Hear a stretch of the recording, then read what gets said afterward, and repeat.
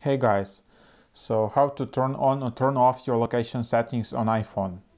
Uh, a lot of people are asking it since uh, you're using different apps, right? And sometimes uh, Instagram or Facebook, they just track your location, but it's not the case that you every time want it.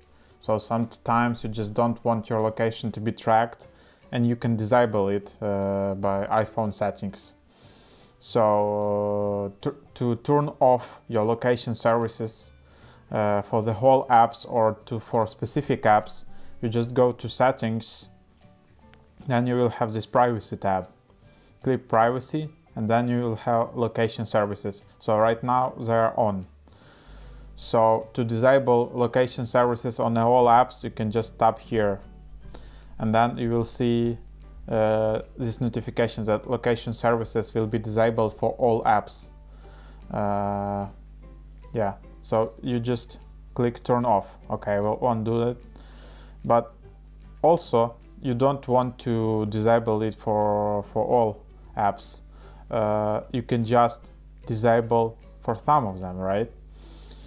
So uh, there are like basically three options. Uh, first option is never so it means that uh, you will prevent access to location services information like forever. So this app will never track your location information. So right now like Compass, never.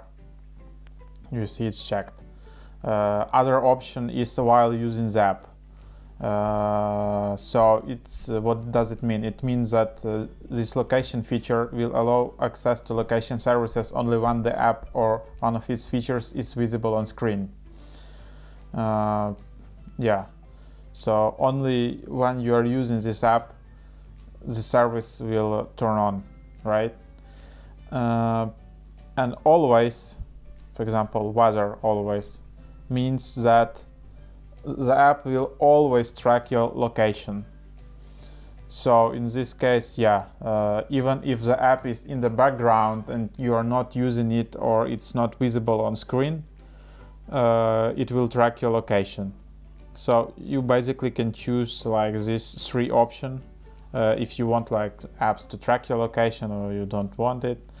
So yeah, this is basically overview of uh, options which are currently available on iPhone.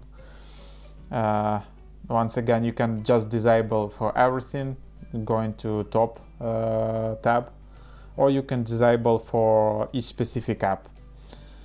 So yes, that's basically it. Hope it will help you and save some, some time. See you around.